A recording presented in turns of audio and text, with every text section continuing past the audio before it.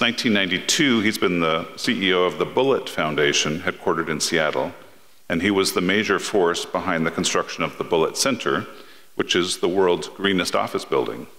The foundation focuses on sustainability and resilient design in the Pacific Northwest and works from assets in the neighborhood of $100 million. Somehow, he had time to write a couple books along the way, including one co authored with his wife in 2015 called Cowed on the impacts of the beef and dairy industry. I won't waste your time with all the endless accolades of, that Denis has earned, but suffice it to say, he was named by Time magazine as a hero of the planet, by Life magazine as one of the 100 most important Americans of the 20th century, and by organizations like the Sierra Club, Environmental Law Institute, Humane Society of America, and a bunch of others with their very highest awards. In other words, a national treasure.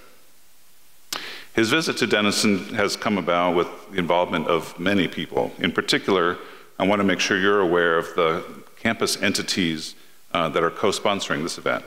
First off, Denison's Office of the President has been a major funder, as well as the Ronenberg Fund. Additional support has been provided by the Sustainability Program, uh, the Departments of Physics, Communication, Earth and Environmental Science, and Biology, and also by the Global Commerce, Data Analytics, and Environmental Studies programs. Having 10 co sponsors all over campus strikes me as one of the best ways to highlight the integrative and interdisciplinary nature of the liberal arts. This is one example of what we do so well as an institution, so thanks to all those who've helped make this happen. With that, it's time for tonight's talk Breaking Point or Breaking Through Possibilities for a Green Future. Please welcome Denis Hayes.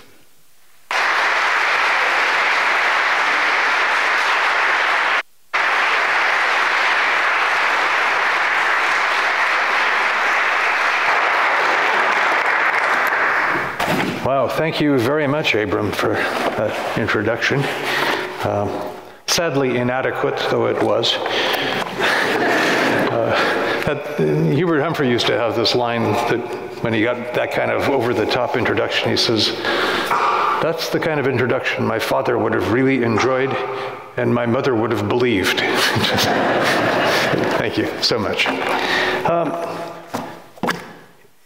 in the summer of 1961, I was a junior in high school, and I, I, took a couple of national tests and did well on them, and got in the mail one day a letter from the National Science Foundation offering me a chance to come for the summer to Denison University to study ecology. I had never heard of ecology. I had never heard of Denison University. Um, but it was a free ride, and I, have always been a sucker for free rides. I got to climb on my first train and go all the way across the country. I, anything to get me out of the small little paper mill community that I grew up in would have been attractive. So I leapt at it and came. Um, we lived in a fraternity house, and the university, with an eye to the fact that this was a mixed group, erected a wall between the section where the women would be and where the young men would be, uh, which we rapidly christened uh, the Wall of Jericho. Uh, and took great pleasure in the fact that my roommate's name was Joshua. and by the end of the summer, it had pretty well disappeared. When we weren't attending summer theater or just goofing off, we studied dragonflies at Ebau Pond with Bob Alrutz. Um, he was a biology professor, an ardent environmental activist, and a, a, mentor. And we learned some stuff despite the fact that we were young and inclined to uh, enjoy our first really big time away from home. For example, we learned that, that dragonflies have been around for 300 million years, uh, a thousand times as long as humans. That one dragonfly can eat hundreds of mosquitoes in one day, uh, which makes them pretty desirable critters in my part of the world. They can each control their four wings independently, so the dragonflies can fly sideways, they can fly backwards.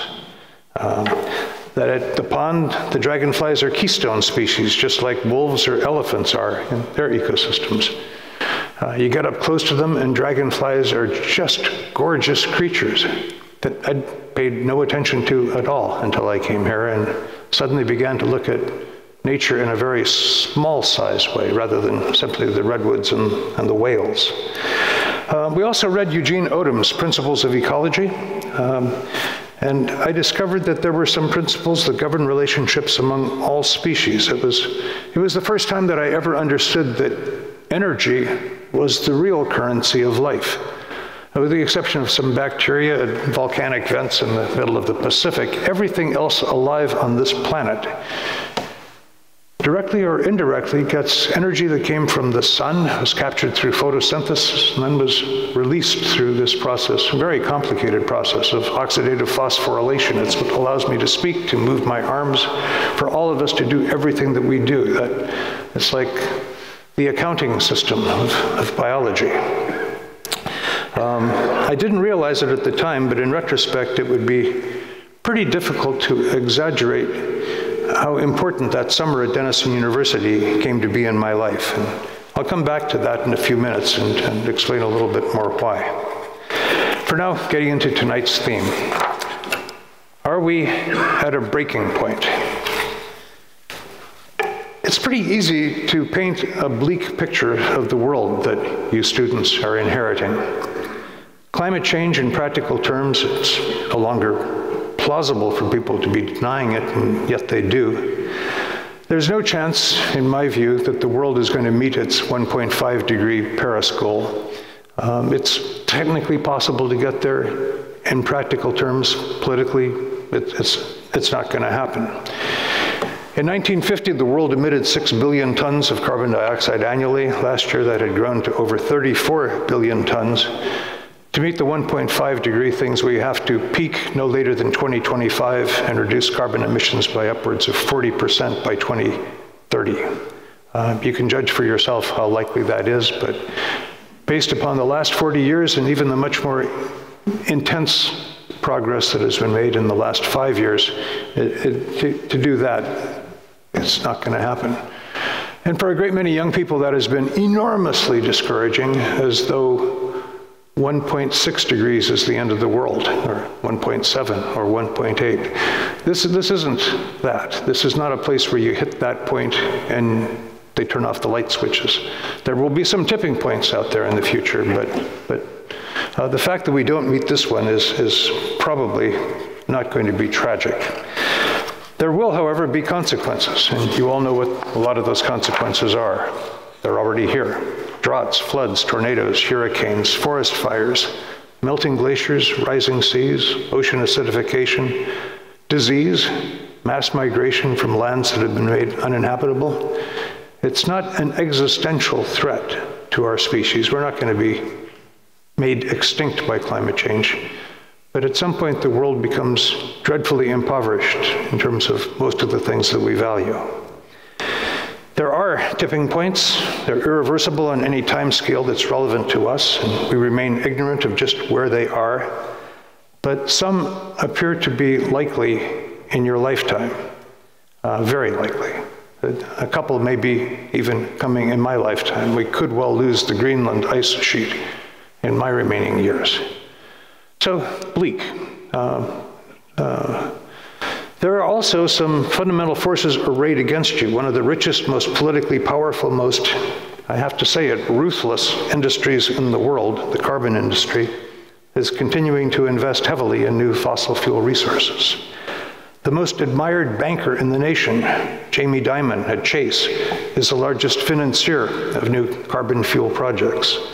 The most admired investor in the United States, Warren Buffett, is a heavy investor in coal fired utilities and coal hauling railroads. In fact, he paid a premium for Burlington Northern precisely because of the new market that was opening up to ship coal to China. Myriad powerful politicians here and abroad are serving these same interests. Beyond climate disruption, as though that weren't enough, you also face a wave of forever chemicals, of endocrine disrupting chemicals, synthetic hormones, plastics that are overwhelming nature's ability to process them. There's a war going on in the Ukraine where the head of Russia has been wagging the nuclear saber, uh, something which we haven't seen for a very long time in international affairs. There is a threatened invasion of Taiwan the widespread replacement of democratic governments around the world with totalitarian and autocratic regimes. There's a huge gulf between the fabulously wealthy and the rest of us. And there is a surge of racism, sexism, and religious animosity that I thought we had buried years in the past, and it's coming back with a vengeance. Within all of this, as young people, you look back as I tended to when I was young at the good old days. When our parents had it, it was, it was easy. As a reminder that you are not the first generation to face seemingly impossible problems, I want to tell you a little bit about my world. I was born in the final days of World War II. That was the war that replaced the traditional wars where armies fought against one another with total war, war against populations. The death toll in World War II was somewhere between 70 and 85 million people. That's a 15 million death ratio that we can't really close because we don't know exactly how many deaths there were. The destruction was so total. And in a place like Dresden, the Dresden firebombing, possibly the worst example in World War II, there was more than one bomb for every resident of Dresden. It just leveled what had been viewed as the Florence of the North. Um, the Soviet Union lost, I think, somewhere around 27 million people. China lost 20 million. Um, there's a remark attributed to Stalin, whether he said it or not, I don't know, that uh, a human death is a tragedy. A million deaths is a statistic. And it's, it's really difficult to figure. What, what, what is 85 million people dying mean? But it's, it's pretty daunting. In grade school, I grew up under the constant shadow of thermonuclear war, the Cuban Missile Crisis, which forced us to think about Armageddon, about literally the end of the planet, occurred when I was a senior. At the peak of the nuclear arms race in 1985, the United States and Russia together had more than 70,000 nuclear warheads, uh, enough to assure the extinction of humanity, and a good chance that it might exterminate all animal life on Earth. To assure that these bombs worked, we and the Russians conducted atmospheric tests. When I was born, radioactive strontium 90, which is a fission product, essentially didn't exist. By the time I graduated from high school, every animal on Earth had strontium 90 in its bones or in its shells. My freshman year of college, the President of the United States was assassinated. Uh, five years later, Martin Luther King was assassinated. A few months later, Robert Kennedy was assassinated. During my college years, America was fighting a brutal, deeply unpopular war in Southeast Asia. We dropped more than seven and a half million tons of bombs Vietnam, Laos, and Cambodia.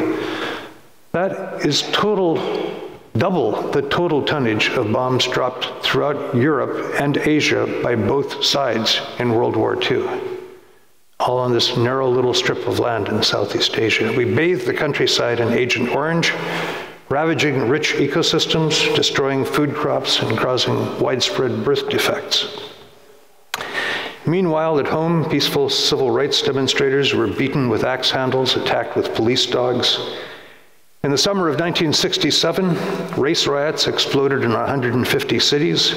In 1968, that grew to more than 200 cities. Widespread arson, bombing, sniper fire. President Lyndon Johnson deployed 58,000 National Guardsmen to try to quell this before it turned into a full blown revolution. Huge sections of Detroit, Newark, Washington, D.C., and other cities were burned to the ground. Basically, the point here is the good old days were not all lollipops and roses. It was possible to have a very bleak view when I was in college. And in fact, I was not at all sure that there would be life on Earth by now. But somehow we have managed to muddle through it uh, managed to actually accomplish some rather spectacular things. And a big part of what I want to do today is convince you that uh, that sort of thing is still possible. When I was a sophomore in college, I was so depressed by all of this that I dropped out of college and spent three years hitchhiking around the world, mostly Africa, the Middle East, and Asia. I was looking desperately for a way to make sense of a seemingly doomed planet. And one night in the Namib Desert in southwest Africa, for no reason that I can explain, my summer studying ecology at Denison University flooded back into my mind. And this was at a time when I was searching for some pattern, some way to explain what was going on in the world, how humanity was behaving the way that it did, and what we could do to make that change. And I lay there awake, kind of questioning why, if ecological principles applied to all animals, what was different about humans? There, there, there, was still this broad perception that there is humanity, and then there's the whole rest of the animal kingdom, and then there's plants over here, as opposed to a functioning integrated ecosystem, and that we were also animals. Hmm. Some pretty clever, got opposable thumbs. We have other things that work to our advantage, but, but ultimately, why wouldn't those same principles be applied to the way that we organize our economy, organize our cities, organize ourselves? I wrestled all night with primitive ideas that we would now call urban ecology, industrial ecology, ecological economics, biomimicry, there wasn't a vocabulary for any of that at the time. And I got up the following morning thinking that this was a more promising way to consider human affairs than anything that I had learned reading the Enlightenment philosophers or Marx or Ayn Rand or Fanon or C. Wright Mills. And any of the other lodestones of undergraduate education that had left me confused and bewildered. Um, I got up the following morning to lead a different life than I had been leading when I went to bed that night. It literally was a profound change for me. My, uh, my life is divided between the years before the Namib Desert and the years after. And crucial to that was Denison University and, and in particular Bob Alrutz. Any case, back to tonight's topic. What are the chances of breaking through? I painted a fairly bleak picture of the world that you're entering. It was, it was accurate, but it was not complete. For whatever reason, most of what we hear about climate is everything that is going wrong. And that nurtures, understandably, pessimism. And in Darwinian terms, pessimism offers no survival value. If you don't have any hope, you won't act. And if you don't act, you are doomed. Um, so let me balance it with some hopeful signs of genuine progress. Coal fired electricity capacity in the United States, the number one target of the climate movement, has been reduced 42% since 2011. Although you would never guess it from the press coverage, carbon dioxide emissions in America peaked back in 2007 and have been going down ever since. Emissions have been declining even more steeply in the European Union and Japan.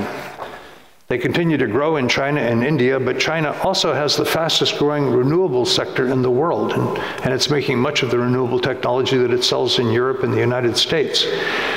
China pledges to peak its carbon emissions no later than 2030, and there are very strong reasons to believe that that peak will come a few years before that if they continue going at the same direction that they are now.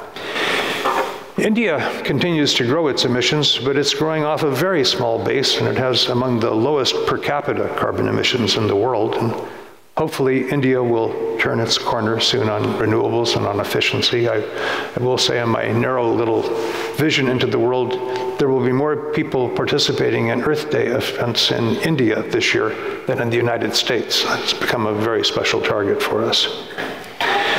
In the United Kingdom, coal consumption last year was the lowest that it has been since, you know, wait for it, the lowest it has been since 1757, before the Industrial Revolution. Um, in the United States, a combination of solar, wind, and batteries will comprise 80% of all new electrical generating capacity this year. 50% of all new generating capacity will be solar energy. I, just about the only notable thing I did in my life that wasn't covered in Abram's wonderful introduction is there was a very important meeting with the Secretary of Energy back in 1970 79, where the Undersecretary of Energy had commissioned a venture analysis of the prospects of lowering the cost of solar photovoltaics, the things that you put on your rooftops and out in fields. Oh, Denison, you know photovoltaics. And it had proven that they could never come down to any reasonable price. And you read the document and you think, well, why would we throw away any more money on this? And, and this undersecretary, who was actually a distinguished scientist, a member of the National Academy, and later became the head of the CIA, he's a tenured professor at MIT, um, proposed that we shut down all solar research in the department because it had no future.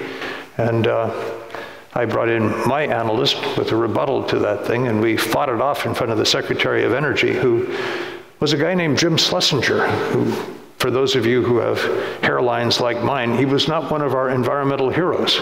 And Jim Schlesinger was the head of the Atomic Energy Commission, he was head of the Office of Management and Budget, he was Secretary of Defense, he was head of the CIA, he'd done a great many things, but wild, radical proposals to do things in renewables was not what you expected of him. Though weirdly, we had a really good relationship because we were both sort of fact based. And we presented our rebuttal to the undersecretary, then Schlesinger opted for us, kept the photovoltaic program going. And in fact, when in the Reagan administration, they came in and took our $130 million budget and stripped $100 million out of it, the photovoltaics program was one of the few things that remained relatively intact. And this year, it will provide 50% of new electrical generating capacity in the United States. There are these pivotal little moments where really important things either happen or don't happen.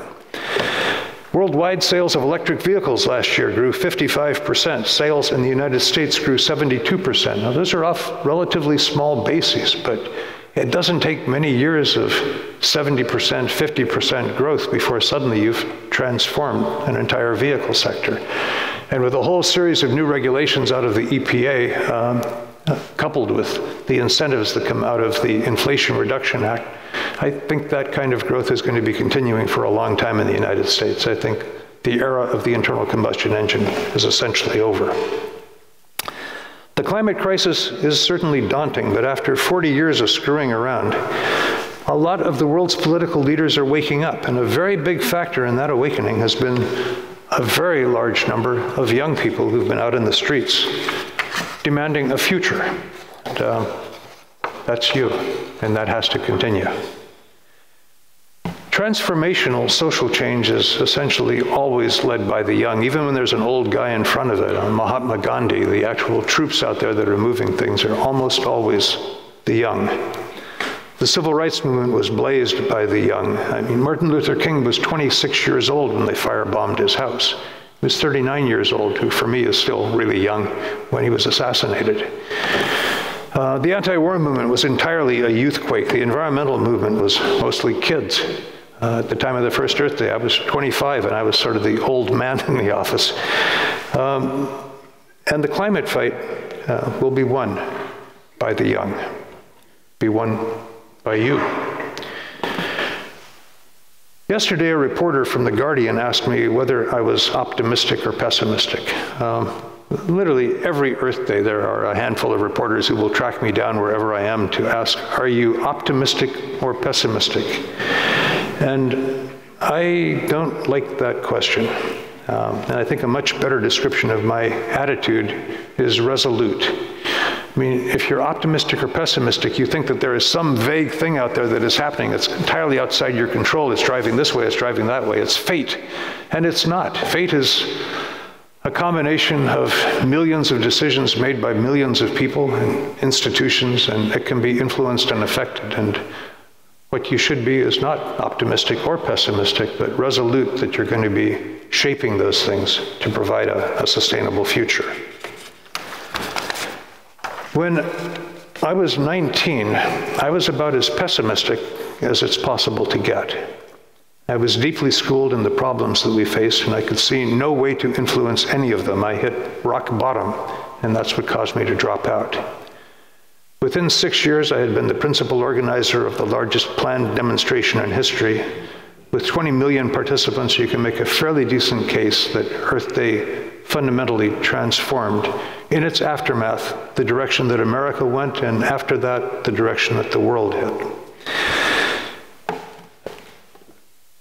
Uh, by the time I was 25, uh, excuse me, uh, the, the fall after that, we sent out to show that that Earth Day was not, as it had been characterized in a few places, just a combination of school kids and hippies that were out sort of frolicking in the fields. We wanted to prove that we had some genuine political muscle. And we targeted 12 members of Congress who had horrible environmental records. Really easy to find members of Congress then with horrible environmental records. And we found 12 who were in districts where we had really strong Earth Day organizers who were prepared to be involved on a volunteer basis strongly in the election, where there was an environmental issue that really had traction in the community and might shift the way that people vote. And um, where these politicians were on the wrong side of that issue. So we launched it. We had very little money. We were taking on incumbents, which is very difficult to defeat. And in the end, in that election, we defeated seven of the 12. And in each of those races, it was clear that the environmental swing issue was what tilted the votes enough to influence the outcome of the election. And one of those was a guy named George Fallon, who was the chairman of the House Public Works Committee. Uh, that was in a day when seniority really counted, and if you were the chairman of a committee, nothing went without your support. So if you wanted to have a, a federal building, you wanted to have a courthouse, you wanted to have a prison, you wanted to have a bridge, you wanted to have a road, you had to get it past George Fallon. The fact that a bunch of kids raising environmental issues had booted George Fallon out of the House just was like a bomb exploding in the Capitol. At that point, everybody that was, had lousy environmental records were desperately trying to figure out what they could do to get on the right side of this issue. And that was a big part of what contributed over the course of the next five years to our establishing the EPA, passing the Clean Air Act essentially unanimously in both houses of Congress. I mean, this is a piece of legislation that was ardently opposed by the automobile industry, by the electric utility industry, the steel industry. Uh, it was opposed by the Chamber of Commerce, by, uh, by uh, the Fortune 500 companies, essentially. Despite that, it passed Congress unanimously. And that's when the society and the rest of the political establishment began to think, my God, this thing has really got some power. We passed next with the support of organized labor, or maybe they passed with our support the Occupational Health and Safety Bill. We, it was being sold on the basis of in-plant pollution. The stuff that workers were getting in a very intense form was the stuff that the surrounding communities were getting in a somewhat more dilute form. Passed the Clean Water Act, Federal Insecticide, Fungicide, Rodenticide Act. We passed the Marine Sanctuaries Act, the Marine Mammal Protection Act, the Endangered Species Act, the Safe Drinking Water Act, set up corporate average fuel efficient standards. We passed the Resource Conservation and Recovery Act, the Toxic Substances Control Act, the National Forest Management Act in five years. I mean, there's been nothing like that in American history with the exception of the New Deal. And the New Deal was headed by a hugely popular president whose party controlled both houses of Congress. We were doing it over the opposition of a, I mean, Richard Nixon vetoed the Clean Water Act. He was not an environmentalist, despite the fact that he signed this legislation when it came to his desk, in some part because he vetoed the Clean Water Act and Congress overrode his veto. And you don't want to do that too often if you're president of the United States. Um, it was something that has since caused trillions of dollars to be spent to make America a cleaner, healthier, safer, and more beautiful country. Um, that kind of change can come, and it is going to come at some point in the climate movement. We're seeing all the precursors there already, all of those optimistic things I was talking about that have happened. The, the passage of the Inflation Reduction Act, which puts an enormous amount of incentives into the right side. We've had a very tough time over history regulating out the bad stuff, but this time instead we're paying for the good stuff, and it's been received with much more wild enthusiasm. Um, the environmental revolution was, once it got launched, for the next several years propelled in some large measure by people who had jobs that almost didn't exist before 1970. environmental lawyers, environmental scientists and engineers, environmental journalists, environmental architects, environmental historians. There, there wasn't that set of environmental sociologists. There, there's um, that, that, sort of vocabulary simply didn't exist. But not only did the words change, but the position descriptions changed. What people did changed, and suddenly they had a stake in this thing surviving into the future. The climate revolution is going to bring far more jobs as we fundamentally reshape not just energy, but transportation, agriculture, the built environment, heavy industry. And I'm hoping that some of the people who are going to be leading this change are in this room tonight. Which brings me finally to the two most important thoughts that I want to leave you with. And this is really to those young people. Um, you should forget what President Kennedy talked about passing a torch to a new generation. Nobody ever passes a torch. Um, I can give you lots of examples. Today, the spotlight is on Senator Feinstein. She's been a marvelous senator. She was a very good mayor before that. She did a number of wonderful things. And now she's 90 years old. She is not well in her body or her mind. She hasn't even been in Washington, D.C. in the last six months. Uh, because she's not there for the Senate Judiciary Committee hearings, President Biden's judiciary nominations are not moving anywhere. I mean, Donald Trump fundamentally, with the help of Mitch McConnell, fundamentally shifted the whole nature of the federal judiciary. And Feinstein is making it impossible for Biden to begin to come in a bit on the other side. She doesn't want to pass the torch. She's already announced that she's going to leave in 2024.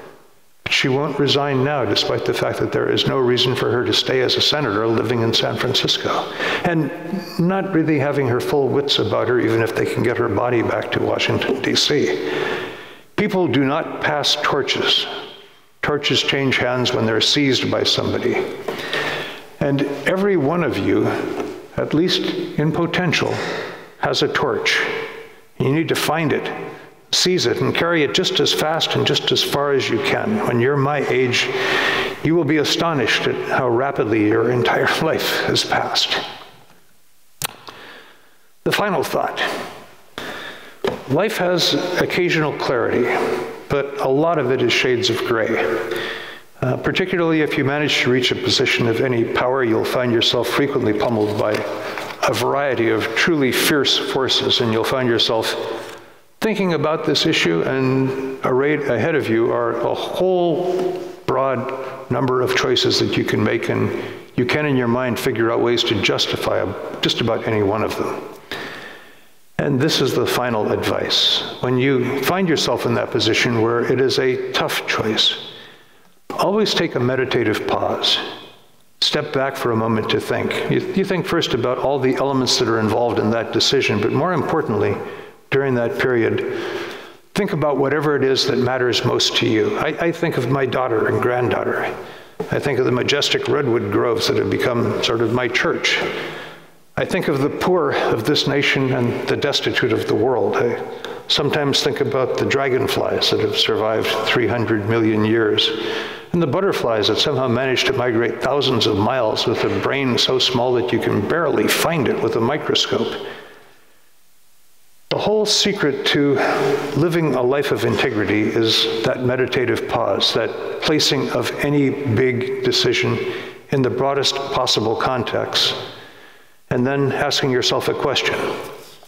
Not what's the easiest thing to do, not what's the most popular thing to do, not even what is the most profitable thing to do, just what's the right thing to do, and then do it.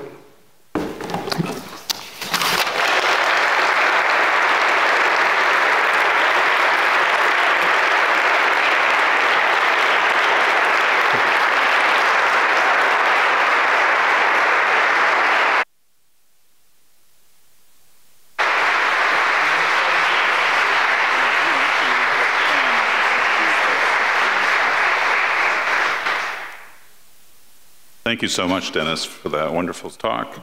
Um, we have time to entertain some questions, so if people would like to ask, um, there are microphones here at the front of each of the aisles. Um, come on up and ask, and we'll be glad to entertain your, your questions.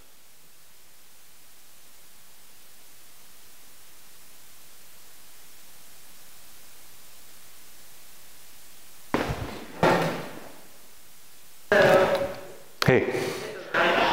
So within my family, we're pretty big on sustainability, but one of the important things that's brought up a lot is whether or not the lithium batteries in non-gas cars is more damaging to the environment than the gas emissions from a fuel cell. In an actual, oh, thank you. in an actual car, do you have any opinions on that? Well, that, that, that's not you know, pardon me, it, it's not a subject for opinions. I mean, there's really hard data. Right. I mean, it, it, it's, particularly if you care about climate, the, the impact, even if the electric car, and I don't want to talk about electric Hummers and electric huge vehicles, but electric sedans of the type that uh, common for vehicles in the United States, even if it gets all of its power from a coal-fired power plant because of the increased efficiency of the um, electric motor, it, it will be less environmentally damaging than the other car. However, what it has that the other car doesn't have, the standard internal combustion engine, is the ability to be fueled entirely by clean electricity.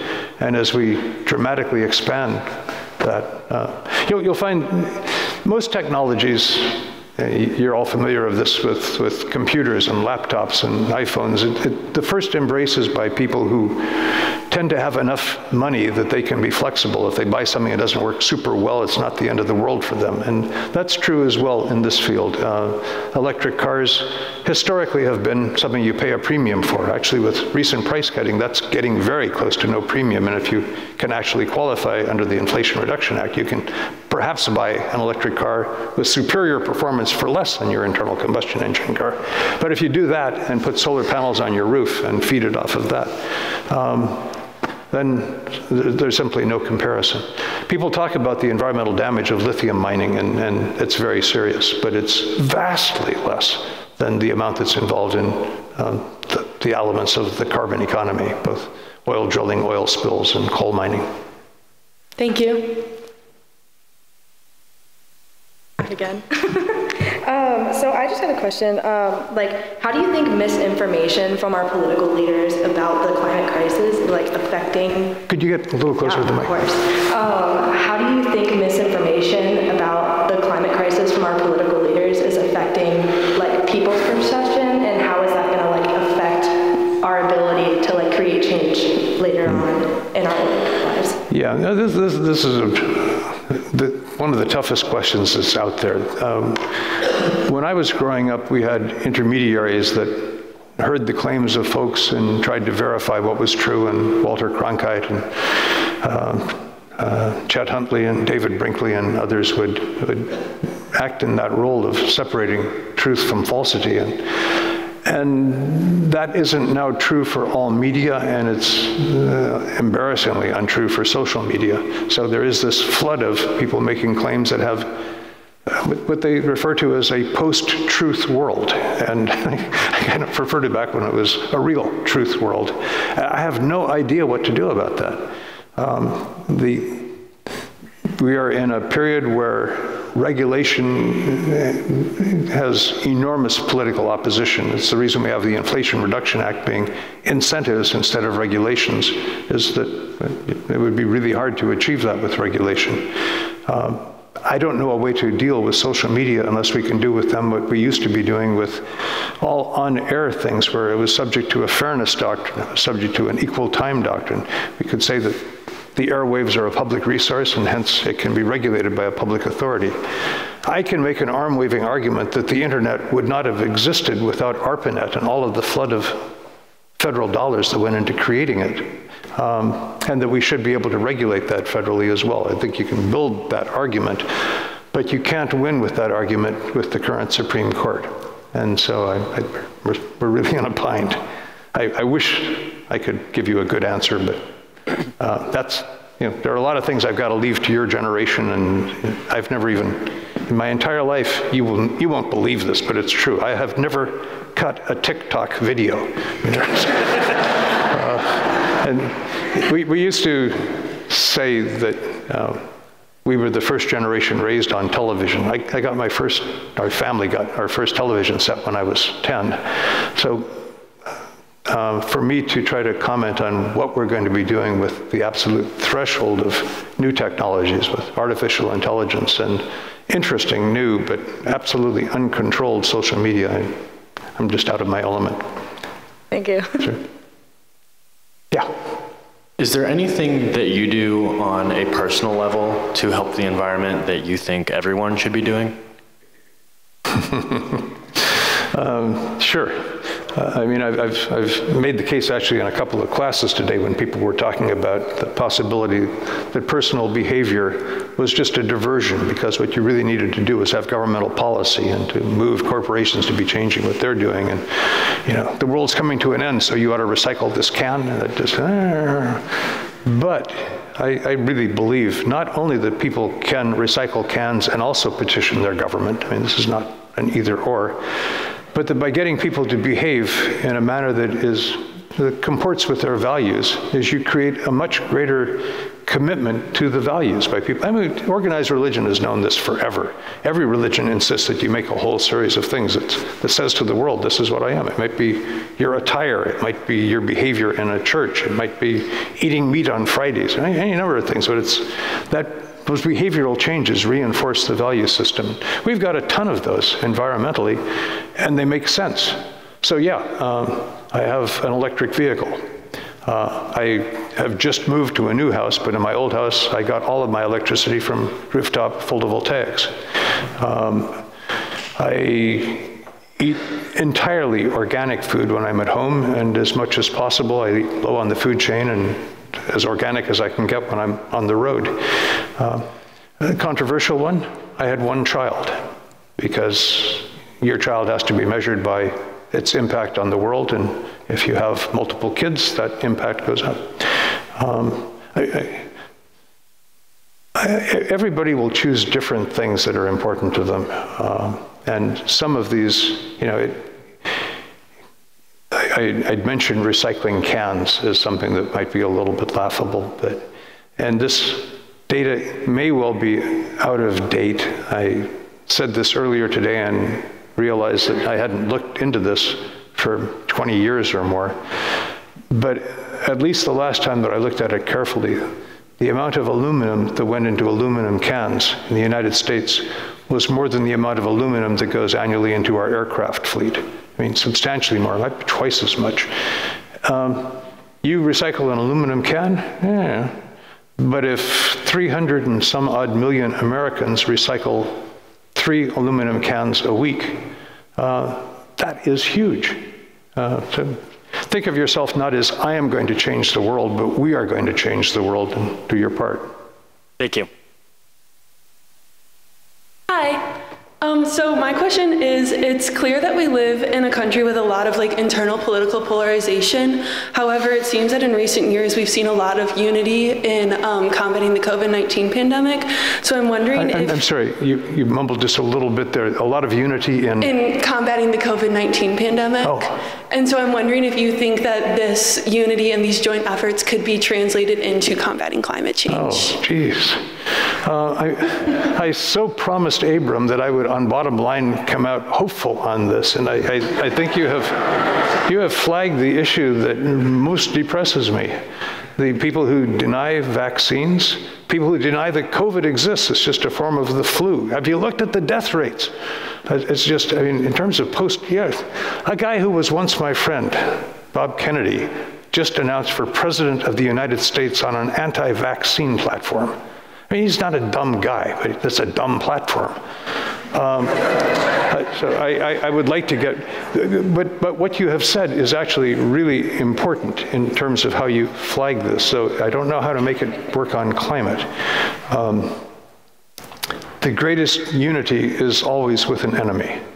Um, you know, and we are as a country, sort of a counterpuncher. Something hits and we respond to it as opposed to taking the initiative. I mean, you bomb Pearl Harbor, and we transformed the nature of the American economy into a war machine. I mean, it was just astonishing what we got done overnight to arm ourselves and our allies.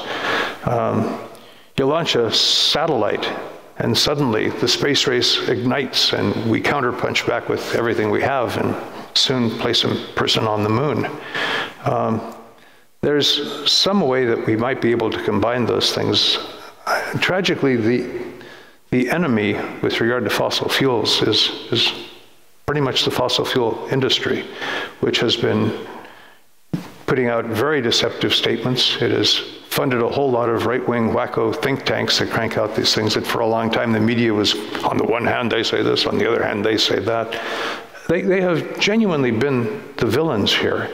But I'm not sure that there's a way that we can use that to advance a progressive agenda, though. There may well be. Uh, but, but your point of finding something that we do come together as a society on, uh, I, I'm, I'm praying that we will be ultimately doing more of that under climate than we did on COVID. Thank you. Yeah.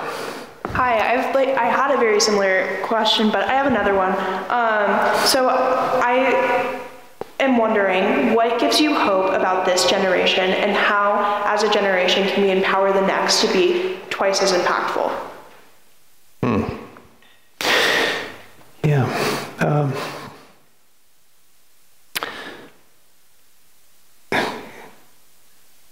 The, the things that we've been talking about tonight were not talked about at all when I was young. I mean, it was just, just a totally different set of issues that we were facing. Um, and each generation has its own challenges, and thus far, each generation has managed to rise to those challenges.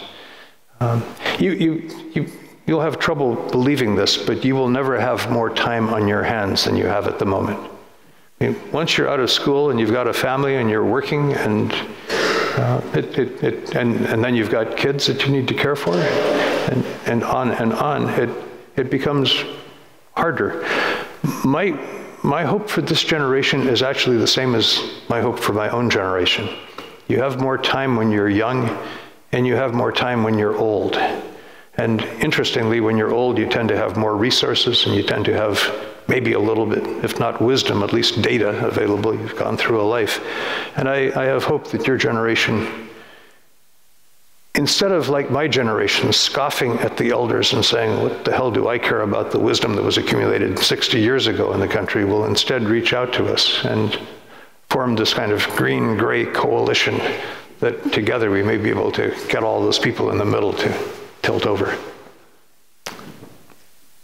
Thank you. The, the other thing for your generation is you are the people who do do TikTok videos, who do understand viral communication.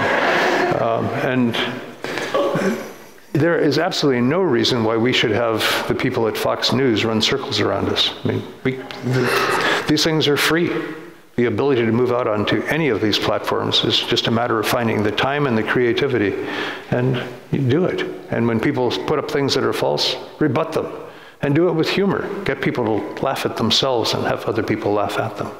I, I, you, you can do things that we can't do at all, and there may be some things that we old people can do that, that you can't do yet. Yes. Hi. Hi. I'm only three or four years younger than you are, so we've had the same experience. And I know there's a lot, a lot, of concern about, about overpopulation back when we were in our reproductive years there. Yeah.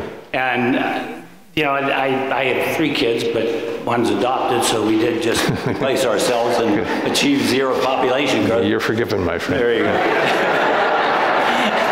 and, uh, you know, now we're faced with the United States and China both having shrinking workforces, and they're concerned there are not going to be enough people working to support all of us old guys in our retirement years. Um, what part do you see population playing in this whole picture as we go along here? Well, it's, it, it goes back to those ecological principles, one of which is carrying capacity. For most animals, when you think of carrying capacity, it's having enough food. And if you've got enough food, then the population expands. And when you run out of food or you run into disease or some other vector, the population shrinks. With humans, we can feed a, an awful lot more people than we currently have. uh, particularly if we were to move down and feed them more sustainable diets. But that does not, that, that's not how we think of a satisfactory life, really being able to have enough nutrition to keep body and soul together. People want to have education, they want to have entertainment, they want to have um, all of the amenities of modern life. There was in the 1980s something of a, I mean, Paul Ehrlich was one of my mentors when I was at Stanford, so I, I got caught up in the backlash of that. And, and in the population bomb, there were two things going on. One is, is a whole lot of trends that he saw and forecast into the future simply didn't move on into the future. The Green Revolution came along and a bunch of things that he thought were going to happen didn't happen. Another part of it was that he was consciously trying to have a self undoing hypothesis, which has been fairly common in environmentalism. You all know about a self fulfilling hypothesis. Well, the self undoing hypothesis is say, this is where we're going, this is what it's going to look like when we get there, in an effort to undo it, make that hypothesis. And he was trying to do that with population. Uh, so you, you take his, his work, which is still right. You take population times prosperity times the choice of technology, and it lends itself to what the carrying capacity will be. There was that period when the radical posture in the American left was all there is a population problem, and all of it is in the United States because we have so much more impact on the planet per person. And there's almost no impact on the planet of the peasants in China. And my response to that, which turns out to have been far more prescient than I dreamed it would be, was Are you sure that those peasants want to remain peasants forever and have their great grandchildren also have no impact on the environment, which is to say, enjoy no creature comforts, no higher education, no mobility? No. Um, it's just not.